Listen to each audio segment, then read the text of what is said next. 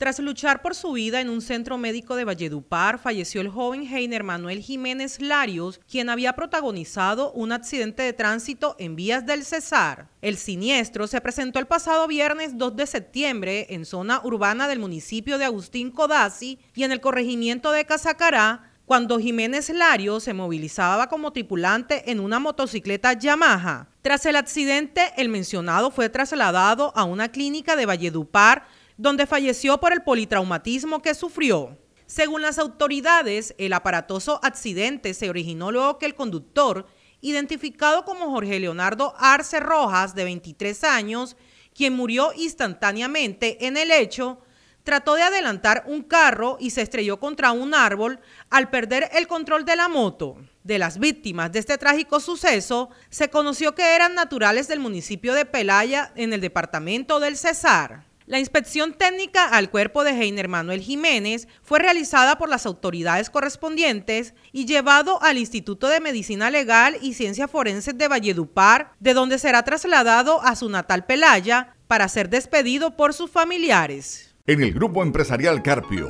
conformado por Carpio Firma de Abogados y Carpio Bienes Raíces, Contamos con un equipo capacitado para brindar los más eficientes servicios de asesorías, consultoría, interventoría en el área legal, así como el área de la administración de inmuebles. Estamos ubicados en la calle 9A número 1557, en el barrio San Joaquín. Contáctanos al 316-666-1017.